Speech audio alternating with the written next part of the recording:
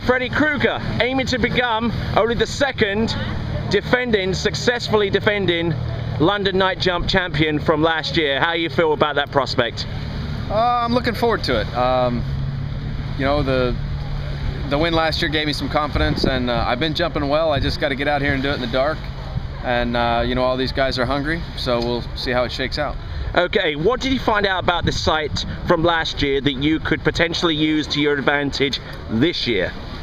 Well, I just think that uh, this place offers such a unique experience from the fact that the, the water is dark and the trees along the side, it, it's, it's a much darker atmosphere than uh, some of the other night jump events we have. So, you know, you really got to uh, relax on your turn and uh, let yourself get in the course. And that's always been my Achilles heel here is, uh, you know, having that patience at my turn to make sure I'm in the course far enough. And uh, last year I kind of got the job done. Still uh, wasn't wasn't even as good as I wanted it to be last year, but it was good enough, and you know, hopefully I can do the same thing this year. So, what do you think it's going to take distance-wise?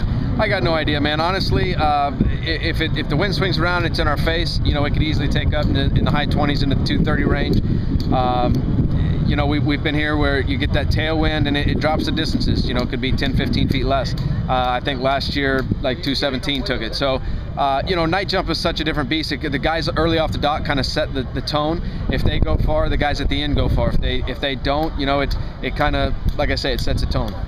Freddy the Nightmare Krueger, the defending London Night Jump Champion.